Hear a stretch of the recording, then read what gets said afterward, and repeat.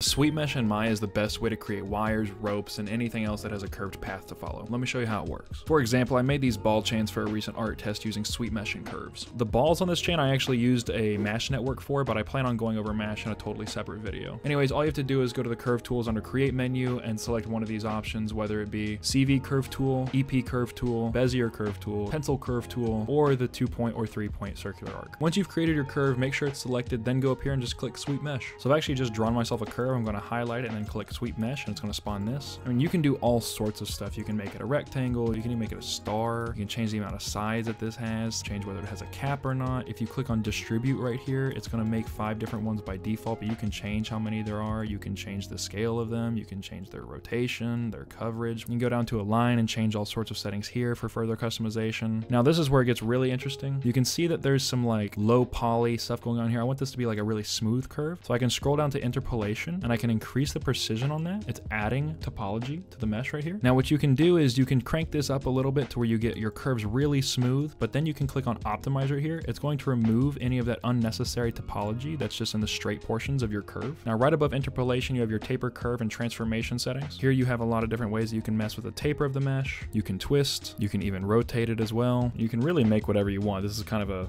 an ugly looking S shape of cords here, but you kind of get the idea. Guys, don't forget to like, follow, subscribe, all that good stuff. Feel free to check out my new assets that I just dropped on Fab, Gumroad, and CG Trader. Any of those online marketplaces, I'm on them. So next time you need a quick way to knock out a rope or wire or something like that, don't forget your old friend,